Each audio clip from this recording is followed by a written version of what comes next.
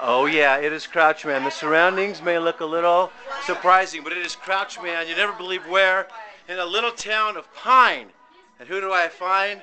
But the superstars of KW Arizona. Hello. Woo! Hey, Facebook. Mm-mm-mm. And they're talking about Facebook and friends. Oh, we know what kosher, coarse, salt means, ladies and gentlemen. That means there's red meat on the horizon. Let's take a peek right now. Oh, are you guys feeling it? I wish we have smell-o-vision, but it is here. Not to be outdone, Randy Cooney pulls out the James Bond of all. This is like, you know what, guys, and you know Crouch Man, how he loves his grilling.